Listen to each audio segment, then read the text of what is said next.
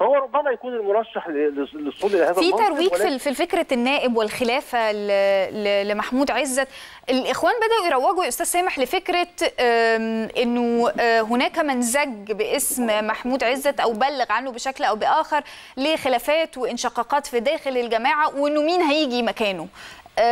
ده وضعه إيه من اللي موجود حقيقة؟ أنا حقيقة. أعتقد إن قدرته على الصمود سبع سنوات آه، في هذا الاختفاء يعني أكاد أن أكون على يقين إن هو معظم الإخوان إن لم يكن كلهم ما يعرفوش مكانه. ربما يكون واحد أو اثنين فقط وأعتقد اللي كان بيوصل له رسائل وبيتلقى رسائل هم النساء أو ما يسمى بين قوسين الاخوات آه. آه وده اللي يعني استطاع إن هو يبقى سبع سنوات. ولذلك فكرة إن الإخوان عارفين مكانه وانه مبلغ عنه وارد يكون ال- الشخص أو الاثنين عارفين مكانه. هذه هذه الأمور شائعة داخل الإخوان.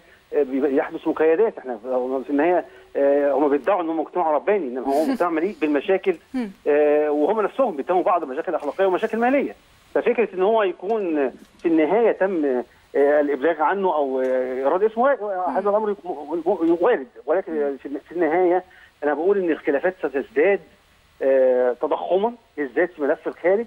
أما الملف الداخلي. فهو بشكل أو بآخر من فترة طويلة بيدار بشكل لا مركزي. بمعنى أصح إن آه، إن هو مفيش اجتماعات تنظيمية الجهاز الأمني في- مصر مسيطر وبيراقب بشكل كبير جدا وعدد كبير جدا في السجون. فالمجموعة اللي فاضلة هي بالتالي بتقوم بدور اجتماعي اللي هي بترعى أسر الإخوان اللي هم محكومين بأحكام أو على ذمة قضايا وبيجمعوا الاشتراكات المالية في أضيق الحدود ويتسموا اجتماع الاسري ومن فترة طويلة هم عمل لهم استراتيجية ان هم ما يبصوش للمشاكل وما ينتبهوش لإيه؟ للصراعات الداخلية لأن هم جوه مصر وضعهم إيه؟ سيء. حتى الفكرة دي بالنسبة أو بين شباب الإخوان؟ لأنه في تفرقة في جاب في في مساحة واسعة جدا بين القيادات التعامل معهم آه، وجودهم في آه، الصفوف أو يعني اختفائهم عن الساحة في في حالة المواجهات والشباب اللي بيتصدروا في المواجهات بيتم القبض عليهم مش نفس المستوى المادي ولا حتى يعني بيتم التضحية بيهم بشكل أو بآخر. آه، أول من من يعني اشتغلوا على إن هم يخرجوهم بره البلد كانت القيادات. الفكرة دي يا أستاذ سامح هل دي برضو هيتم أو هيكون فيها انشقاقات فيها أكبر؟ بالتأكيد اللي انت بتقوليه ده كلام صحيح بس هم في الفترة الأخيرة آه، قدموا دعم مالي ضخم جدا حتى للشباب اللي مسجونين عطوا اسرهم دعم بحيث يتلافوا مثل هذه الانشقاقات. وأصبح ال- الأخ الإخواني مضطر إن هو يبقى داخل التنظيم وربما لا يعلن عن اعتراضاته حتى لا يتم رفع ال- السقف المالي عنه أو الرعاية المالية عليه. آه. لو هو طالب لسه أو لسه متخرج أو حتى متجوز هم بيضخوا اموال ضخمة جدا لرعاية أسر المحكومين. أو اللي عليهم احكام أو حتى الهاربين الهاربين في الداخل أو الهاربين في الإيه؟ في الخارج. فمجرد الاعتراض أو التمرد سترفع عنه الرعاية المالية. ولذلك كثير منهم ربما يكون آه، حانق وربما يكون غاضب ولكن في النهاية هو آه، آه، بيرعى بيرعى أسرته فمتوقف عن صامت يعني. هذا أمر ال- العمليات موجود على الأرض. ال- أو الجناح العسكري كونه كان مسؤول عن الجناح العسكري ومعظم أو كل العمليات تقريبا اللي حدثت في السنوات الأخيرة. هل ال- اللي هيجي في المكان ده بضرورة الحال يكون كمان مسؤول عن ال- الجناح العسكري وعن العمليات ولا ده هيتأثر ولا هيحصل فيه إيه يا أستاذ سامح؟ هو طبعا أكيد ان أجزم طبعا إن هو في آه، جناح عسكري تم آه، صناعته اللي هو كان مع مجموعه مجموعة محمد كمال ولكن عشان نكونوا صرحاء. آه، بأوامر غربية هو قالوا لهم إحنا هنسقط النظام في خلال اسابيع في خلال شهور الأنظمة الغربية عطت له فرصة نص 13 و14 كله.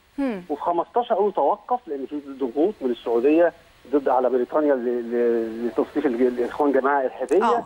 وفي ضغوط أيضا على الكونجرس الأمريكي فقالوا له أنت عندك ملفات كبيرة جدا عسكرية توقف ملف مصر عسكري مؤقتا. لأن عنده ملف في سوريا الجيش الحر وعنده ملف في ليبيا فجر ليبيا وعنده ملف في حماس غزة كل ملفات عسكرية وعنده في حزب الدعوة في العراق وعنده مش عارف في الشباب بس في. أذرع لسه موجودة من الجماعات الإرهابية في مصر اللي تابعة ليهم هل ده مش بيعتبروه الجناح العسكري بتاعهم؟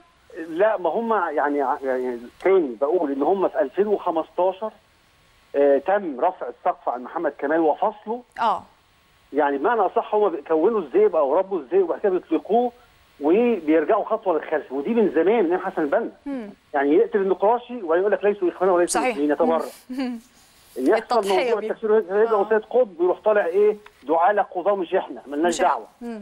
فالفكرة دي قديمة هو بيكون. جناح عسكري ثم. يطلقه وياخد خطوة للخلف عشان يبقى قدام المجتمع الدولي أنا. كيوت وماليش دعوة وكلام من. هذه الحركه من زمان من أيام حسن البنا ليسوا إخوانا وليسوا مسلمين وأنا ما قلتلكوش اقتلوا النقاش رغم إن هو عطى أوامر وخلى سيد قطب يفتلهم من زمان فنفس الموضوع هو كون مجموعة وحملها بالغضب والكراهية والعنف. وعطى أوامر بالعنف وبعد كده قال لهم توقفوا طبعا ما توقفوش.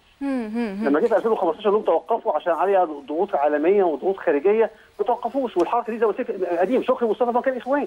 تكفير والهجره قال لك لا مالناش دعوة ليسوا إخوانا وليسوا لا دعاء لقضاه طلعوا بدعاء إيه؟ ده نهج التخلي ال- الدائم والتضحية بشباب و- وبما- بمن يقوموا بالعمليات الدائم عند عند الجماعة يا أستاذ سامح ومنذ التاريخ زي ما حضرتك آه، ذكرت. أنا بشكر حضرتك. شكرا جزيلا أستاذ سامح. عيد الباحث في شؤون الحركات الإسلامية.